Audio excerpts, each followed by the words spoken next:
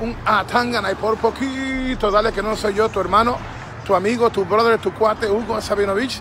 Eh, miren, temprano hoy iba a ser el reportaje de la diosa, la villana favorita, Alexa Bliss, sobre lo que Ringside News estaba reportando, que se había vuelto a lesionar y por eso no le han dado luz verde para regresar. Eh, mientras fui al hospital con la rubia, salgo, encuentro la noticia aquí en Lucha Libre Online, donde la propia Alexa Bliss, la villana favorita, desmiente la noticia de Ringside News diciendo categóricamente, y esto es una buena noticia, de que no se ha vuelto a lesionar.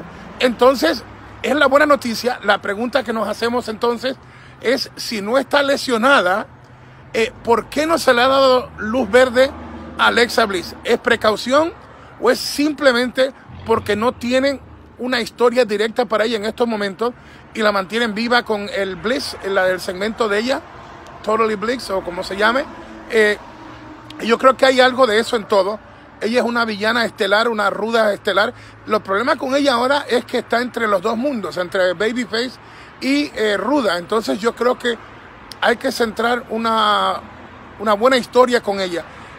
Qué bueno que ella misma, Alexa Bliss, ha desmentido la noticia, lo cual nos dice claramente que todos podemos cometer errores y que esta vez Ringside News eh, se ha equivocado. Así que qué bueno que Alexa está bien y le recordamos a nuestro público, se acerca el evento 16 de marzo, nuevo Coliseo de Manatí, el futuro de la lucha libre está en juego, una cartelera tremenda de categoría internacional, eh, alianzas poderosas con Qatar Pro Wrestling, con Alberto, eh, el patrón Alberto del Río, con Apolo. Cosas grandes van a suceder. Queremos que todos compren sus boletos para Clash of Warriors en Manatí, 16 de marzo. Puerto Rico, el futuro de la lucha libre está en juego. Esperamos que estés ahí. Y 8 de junio, nuestra empresa NGCW, Lucha Conquest 4. La historia continúa. Una brutal, brutal cartelera en Orlando. Y eh, se acerca Rey de Reyes en México y muchas cosas más. Chile en abril, dos días. En Concepción, Hugo Sabinovich, presentación personal en Fanatic.